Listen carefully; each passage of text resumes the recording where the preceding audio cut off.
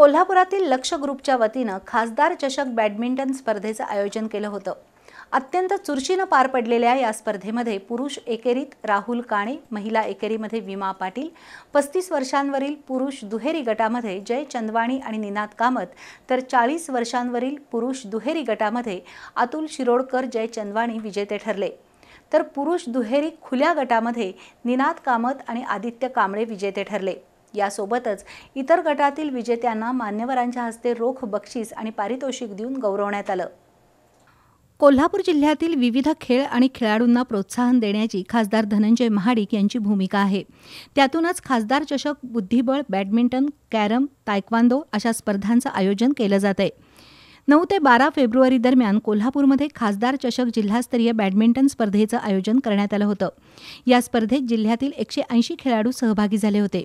या स्पर्धेमध्ये पुरुष एकेरीत राहुल काणे महिला एकेरीत विमा पाटील पुरुष दुहेरी पस्तीस वर्षांवरील गटामध्ये चय जनवाणी आणि निनाद कामत तर चाळीस वर्षांवरील पुरुष दुहेरी गटामध्ये अतुल शिरोडकर जय चंदवाणी विजेते ठरले. खुल्या गटातील पुरुष दुहेरीमध्ये निनाद कामत आणि आदित्य कांबळे हे विजेते ठरले.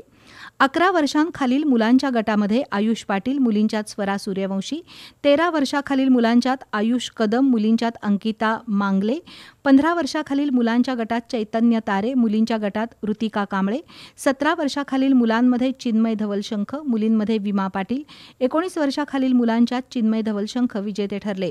माजी नगरसेवक राजसिंह शेळके विजयेंद्र माने केडीबीएच्या सेक्रेटरी वर्षा नाडगोंडे विनोद भोसले यांच्या हस्ते या सर्व खेळाडूंचा रोख रक्कम आणि पारितोषिक देऊन गौरव करण्यात आला. यावेळी लक्ष ग्रुपचे सुमित साळोखे विनोद शेरे अमोल जिरंगे मिलिंद सगरे शुभम लिंगरस अवधूत निगडे कोमल सरजे यांच्यासह मान्यवर उपस्थित होते.